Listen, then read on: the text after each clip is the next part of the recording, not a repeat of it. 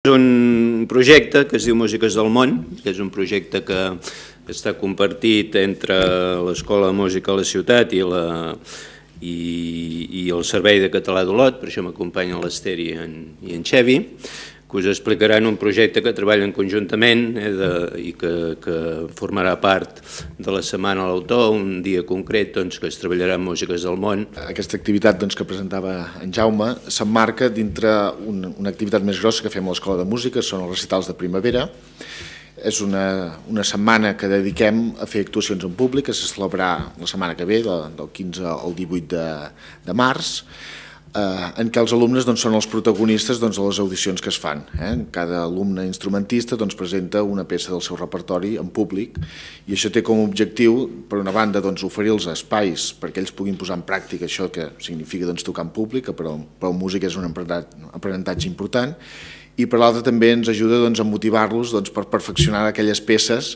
doncs, perquè si les has de presentar doncs, acabin de, de posar-hi aquest esforç extra doncs, perquè surtin eh, molt, molt ben tocades. No?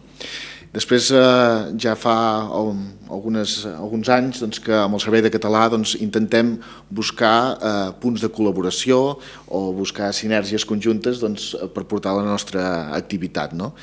I bueno, dedicarem una de les sessions, la del dijous eh, a dos quarts de set, eh, el dijous 17 a dos quarts de set, doncs, a les músiques del món. Eh? I és aquí on intervindran doncs, els alumnes de, del Servei de Català. Hem pensat que era una bona oportunitat perquè treballàvem les músiques, ensenyàvem músiques d'altres països i alhora aquestes músiques, aquestes peces, seran presentades per persones d'aquells països que ara viuen a la Garrotxa, les presentaran en català, explicaran eh, d'on venen, què fan i, i una mica alguna cosa del seu país que, que els agradi, que recordin, etc. És una forma que ells practiquen català, però també és una manera de, de, de fer que ells recordin o que continuen tenint aquests llaços amb els seus països.